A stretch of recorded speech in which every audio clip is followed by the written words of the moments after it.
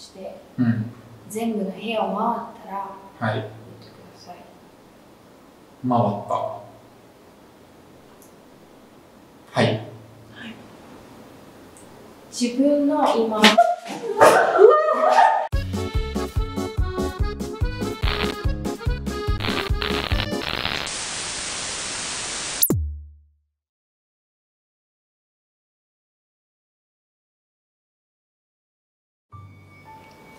まあもうセッティングされててねどういう状態かわかると思うけど日本の夏といえば怖い話。そう。だから怖い話をねいろいろちょっと今回は聞いていきたいなって思うんだけどあれちゃんって幽霊とかそういうの見えるタイプ？霊感は結構強い方でへえなんかその友達の家とか泊まりに行ったりとかすると出てくるよね。み見ちゃう？見るへえどんなことを今まで経験したの？これは初めて彼氏ができた時の話なんだけど10代の頃あの彼氏ん家にお泊まりに行った。の10代の頃やったから家族と一緒に住んでて、彼は。で妹とかもいて。で彼の家に泊まりに来る時彼に何回もなんか霊感強いとかうん。見たりするのとか聞かれたんやけど、あんまり気にしなかったんやけどその時は。うん。でまあその晩寝ることになってなんか彼の家ってなんかちょっと特徴的であの彼の部屋を出るためには妹の部屋を通らないといけない作りになってた。なんか妹の部屋と隣同士みたいな感じででその夜が眠りについたんだけどパッとなんか夜中に目が覚めたの。で目覚めたんだけど動けなくて体もで喋ろうとしても口も開かないしで目ももう本当に頑張って頑張って開けたんだけどなんかかすかにしか開かなくてかすかに開いた時に明らかになんかうちの腕のところに正座してる女性が座ってて。長い爪の手でめっちゃ掴んでるの私の腕そう。すっごい力で掴んでて。それもなんか動動きたくても動けないしめちゃくちゃ怖いし。でああもうマジで怖いマジで無理とか思ってると「帰って帰って。帰って」って聞こえんの。へえ。怖っ。帰って帰ってって言ってたんだけど、なんか小さい声で「帰って帰って」って聞こえてたんだけどうん。なんかそのまま気づけば朝になってて。へえ。でえー、怖い夢見たとか思って、でもなんかなんかちょっと赤くなってるかもみたいな。と思ったんだけどまあでもそんなになんか爪の跡残ってるわけでもなかったし。うん別に傷もあったわけじゃないからなんか変な、まあ、夢だったのかなと思ってたんだけどでなんか妹が彼の妹ね「えあるちゃんってなんか昨日すげえ怖い夢見てたの?」みたいななんか結構ボソボソ喋ってたよ。って言われて。え、しゃべな何しゃべってたのって言ったら、え、帰ってってっていうこと言ってたよ、へえ、でも、帰ってとか言ってないし、その女の人が言ってたうん言葉やんと思って、いや、でも実は昨日なんか夢かなと思ってたんやけど、うん。実は女の人が見たんだよって言って。で、帰ってって言ってたのは、女の人の方なんだよって言って。爪が長くて、うん。髪の毛もここまでで、うん。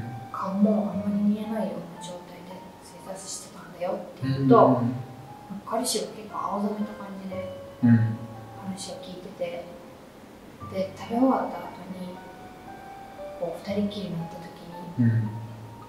その女の人どん。な感じだったのって言われて女の人を見たのって言われて、うん。うん。なん。か女の人を見てしかもなん。か妹が言ってた書いてっていうのは私じゃなくてその夢かなと思ってた女の人が言ってたん。だよって言ったら実はなん。か霊感強いって聞いてたのがなんか僕も夢だと思ってたんだけど毎晩寝る時に女の人が来て金縛りにあって毎晩やられるんだって。やられる。それはその性的なこと？性的なことで。えー、じゃあ帰ってってあれなのかな？というのは多分彼のことを彼氏だと思って。だから今日もやりに来たのになんか違う女おるやん帰って帰まあでもって要するにそんな感じになるよね。え本当にあれはもう確実にはっきりと見て感じて聞いた初めての初体験のなんかお化けの話だった何の話やねん。結局下ネタっていうね。てフラちゃんは霊感強いの？うーんどうやろうね。なんか最近ちょっと強くなってきた気はするかも。何の影響かは分からへんけど。ただなんかこれほんまに1 2年前か1年半ぐらい前最近じそうやったねんけどお家で、まあ、寝てたのよ。まあ寝るじゃん普通に。でベッドで寝てたら、まあ、パーッと目が覚めてあ喉が渇いたわって思って起き上がってでうちベッドのすぐ近くにウォーターサーバーがあってでそのウォーターサーバーで水をパーンって汲んで飲んでああもうまた寝た寝よっかって思った時にパッてベッドの方を見たら自分がおったんやいやいやその時って自分パッて見て自分がおるってめっちゃ恐怖で自分を見るってすごい怖いやんか。そう。まあでも夢やったんかなって今となって思うんだけどパッてそれを見てああおるわその時はめっちゃビビったけどただよくよく考えたらそりゃそうやなみたいな感覚になったのよね、でパッて見たらまあベッドの向こう側に窓があってベランダに出れるようになってんねんけどあそうやいかんとって思ったね。ベッドから降りベッドとかベッドの先にある窓の方に行ってベランダに出てでベランダの先に行ったらもう道になるからあの1階のところの道まで行ってでテクテクって駅の方に向かって行ったのよね。駅まで多分5分ぐらいのところにあるんやけどもでだんだん駅が近づいてくるにつれてなんだろうややばみたいな。やば。これ戻らんと戻れるかなっていうふうに思ってバーってめっちゃ必死に家の方に走っていくんよね。そしたらなんか知らんけどサイレンが聞こえる。なんか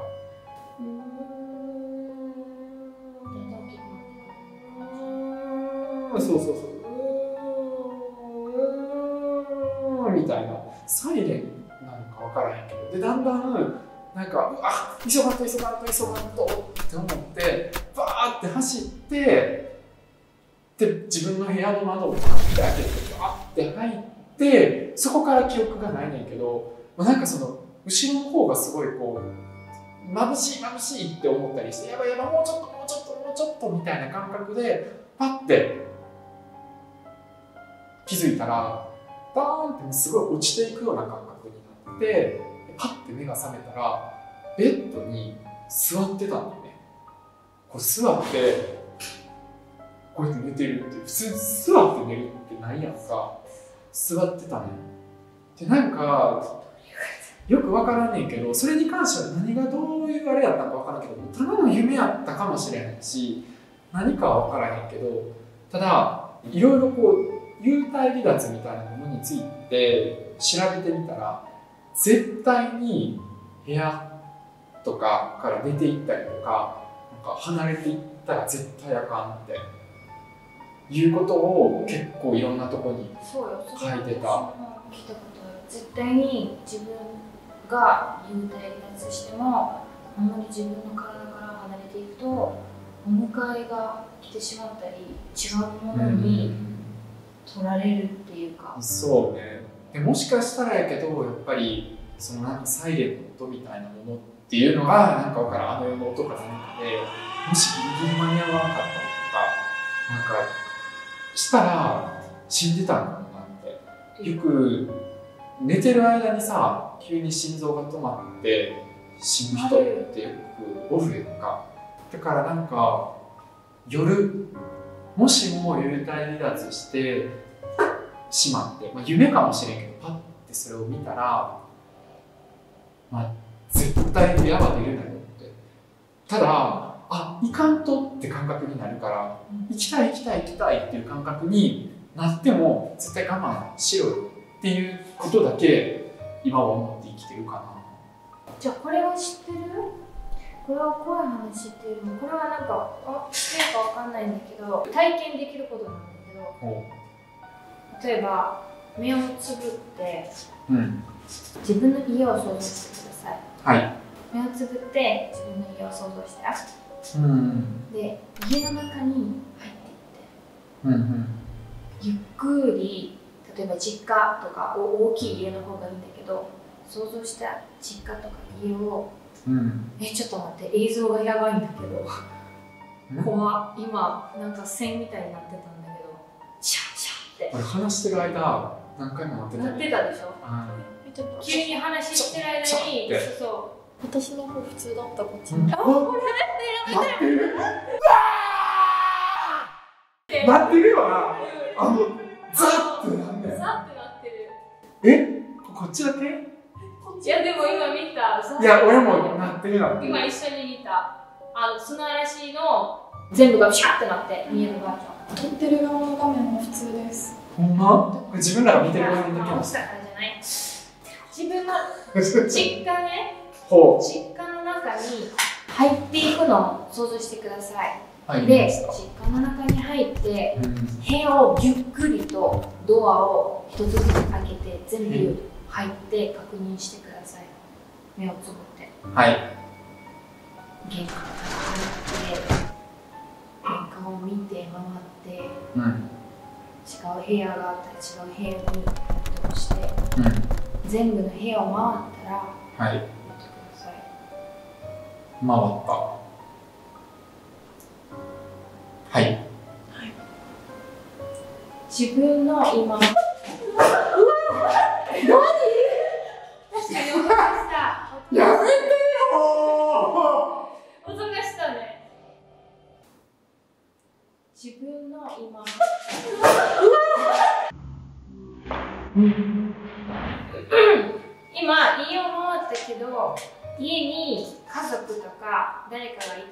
した。いたいた。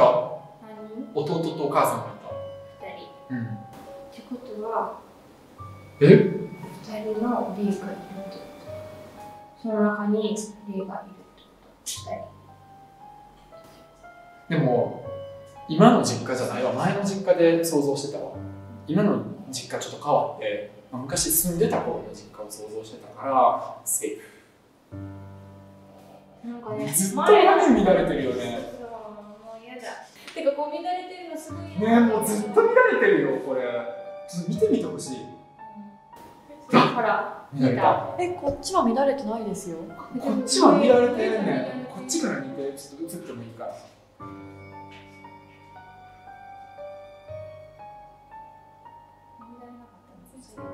えまだ待って。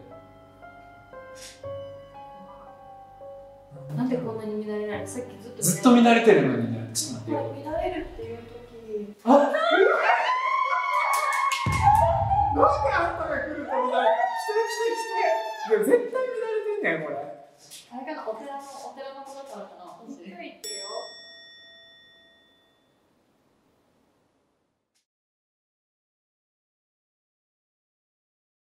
うこの乱れてるのが本当に私。見ないん。ですもうね俺もずっともうこれ乱れ話し始めるとずっと見られてる。今も見られたもん。さっきからプロンプター見なくなっちゃったん2人とも。見あのねずっと見られてるのずっと見られてるのその映像。え壊れてるんじゃない？じゃあうちが怖いのが見てて何かいけないものを肩に乗っかってるとかそういうの見たくないんだよね。なんか腕なんか乗ってるよとかあったら 嫌じゃないみたいな。運とさせないよ。もう本当にね、乱れて、もうね、ちょっとこう、ピャって見たら、ピャーってなってね、だからまあ、ここにこうさ、なんかちょっとこう、指があって。